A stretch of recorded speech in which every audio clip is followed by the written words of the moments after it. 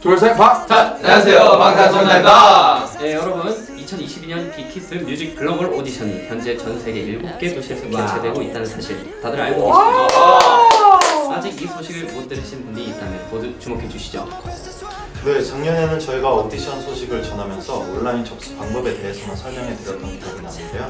올해는 현장 오디션과 온라인 오디션이 동시에 진행된다고 합니다. 오, 신기하다. 그러면 현장 오디션에 참가하시는 분들은 대면으로 자신의 끼와 재능을 마음껏 보여줄 수 있고 현장 오디션에 참가하기 어려우신 분들도 국적과 거주지에 상관없이 온라인으로 쉽게 지원할 수 있는 거네요. 아, 맞습니다. 특히 현장 오디션은 내가 아티스트라는 꿈에 대해 얼마나 애정이 있는지 그리고 얼마나 잠재력이 있는 사람인지 직접 보여줄 수 있는 소중한 기회잖아요. 네, 또 빅히트 뮤직 전문 캐스팅 디렉터의 생생한 심사평을 들어볼 수도 있으니까요. 네, 오디션을 통해 빅히트 뮤직의 미래 아티스트가 되실 여러분이 저희도 벌써부터 궁금해집니다. 이번 2022 빅히트 뮤직 글로벌 오디션이 여러분 인생의 큰 전환점이 될 수도 있다는 생각으로 망설이지 말고 꼭 지원해 보시라는 말씀 드리고 있습니다.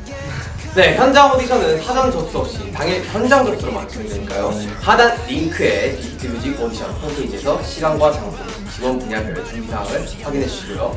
온라인 접수 방법에 대해 더 궁금하신 분들도 오디션 홈페이지를 방문하면 자세한 정보를 확인하실 수 있습니다.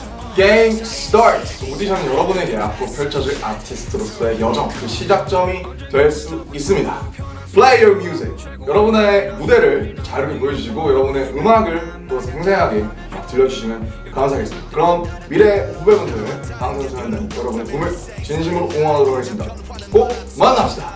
저는 지금까지 방탄소년단이었습니다. 둘, 셋. 감사합니다. 나도 현장 여러분들의 현장 우리의 미래입니다. 네, 현장 주시. 나, 나나 인생 채롭게 많아 그 이유 물어본다